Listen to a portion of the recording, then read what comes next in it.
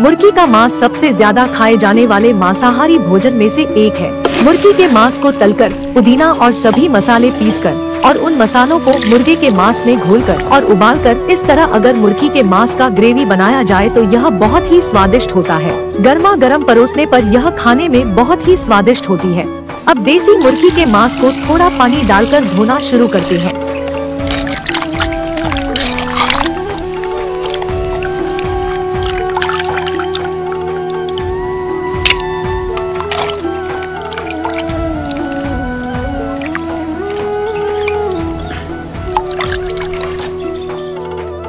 अब देसी मुर्गी का ग्रेवी बनाने के लिए आवश्यक मसाले को तैयार करना शुरू करते हैं।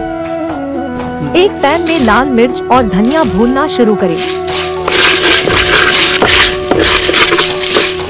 भुनी हुई लाल मिर्च और धनिया को सूखने दीजिए और इलायची सेमुल और सौंफ को डालकर भूनना शुरू करें। अब इसमें तेज पत्ता, जीरा, काली मिर्च डालें और भूनना शुरू करें। इसके बाद इसमें दालचीनी, लौंग और सौंफ भी डालकर अच्छी तरह भून लें।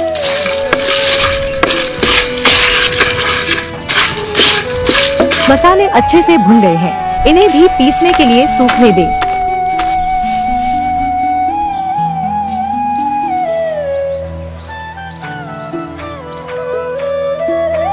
जब ये अच्छे से सूख जाएँ तो भुने हुए मसाले सिलबट्टा में डालकर पीसना शुरू कर दें।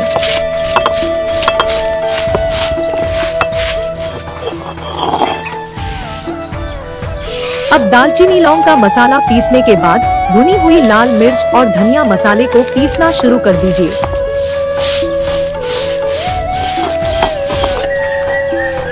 लाल मिर्च और धनिया बारीक पिसा हुआ है। अब सिलबट्टा में अदरक और लहसुन भी डाल दें और पीसना शुरू कर दें। अब इसी के साथ इसमें छोटे प्याज डालकर अच्छे से पीसना शुरू कर दें।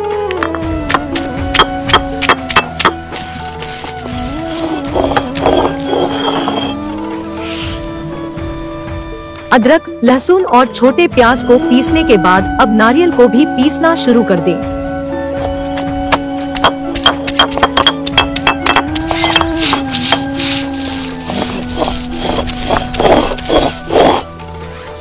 नारियल अच्छी तरह से पिसा हुआ है। अब पुदीना को भी पीसना शुरू कर दीजिए।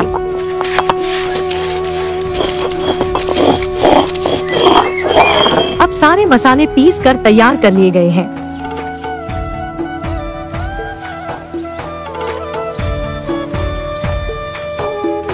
जब बर्तन अच्छे से गर्म हो जाए तो इसमें थोड़ा सा तिल का तेल डाल दें। अब सौंफ डालें।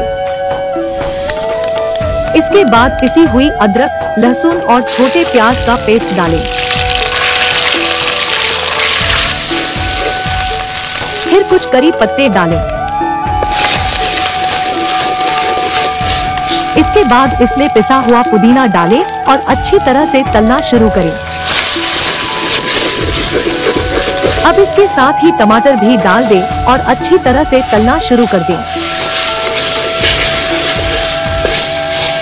अब धोया हुआ देशी मुर्गी का मांस डालें। अब मांस के साथ क्रिस्टल नमक डालें और अच्छी तरह से तलें।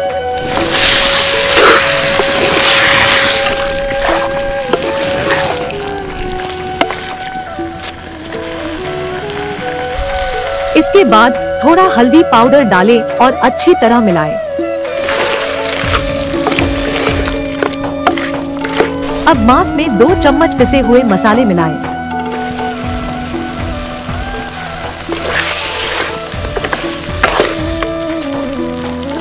इसके बाद इसमें पिसी हुई लाल मिर्च और धनिया डालकर थोड़ा सा पानी डाल दें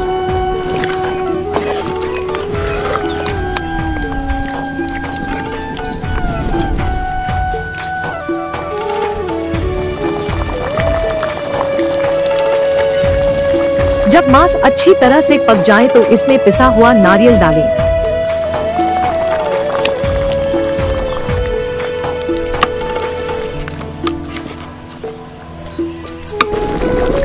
अब ग्रेवी को तब तक उबालें जब तक कि नारियल की किन्वित महक न चली जाए।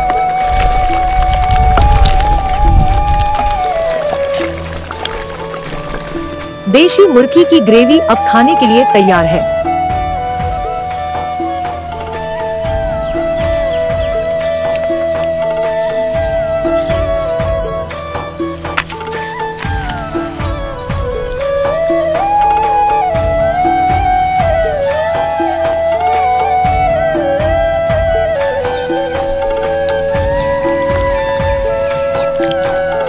देशी मुर्गी की ग्रेवी चपाती के साथ खाने में बहुत ही स्वादिष्ट होती है।